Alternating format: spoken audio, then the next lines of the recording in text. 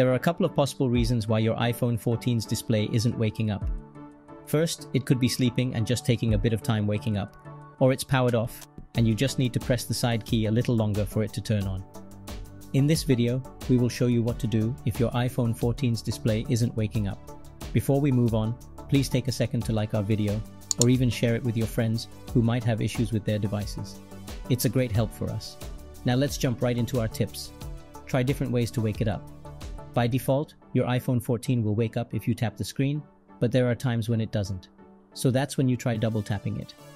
If that doesn't wake it up, then press the side key. As long as the device isn't powered off, pressing the power key will actually wake the screen up. Or you can try calling it from another phone, as that will also wake the device up. These three simple procedures are often enough to wake an iPhone 14 that might have gone idle for too long. However, if they fail, then try the next solution.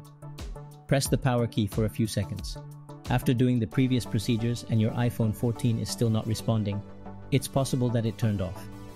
Pressing the power key won't turn the device on. Instead, you have to press and hold it for at least 6 seconds.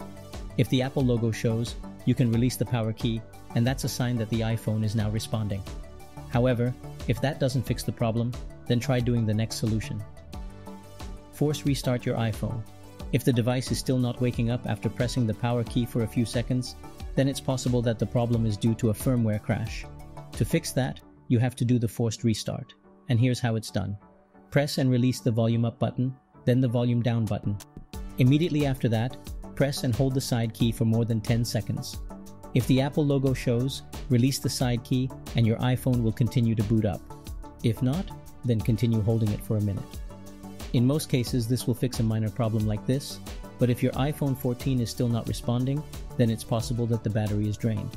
So, charge your iPhone. As long as your device doesn't show any signs of physical or liquid damage, the reason why it's not responding is because its battery is drained.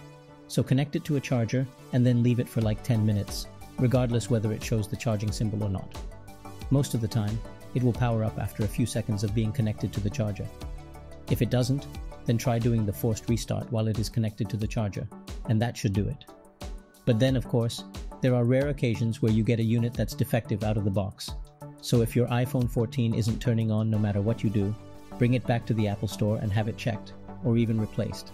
We hope this guide can help you. Thanks for watching.